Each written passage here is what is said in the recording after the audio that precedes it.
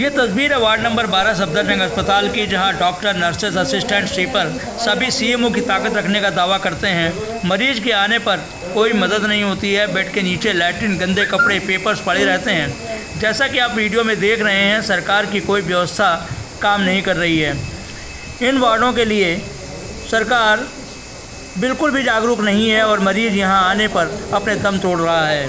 यहाँ राम सिंह नाम का आदमी कुछ ज़्यादा ही ताकतवर है। मास्टर जी नाम के व्यक्ति हैं, जो कि यहाँ अपने इंचार्जशिप में है। डॉक्टर कोई भी अपना नाम बताकर राज़ी नहीं है।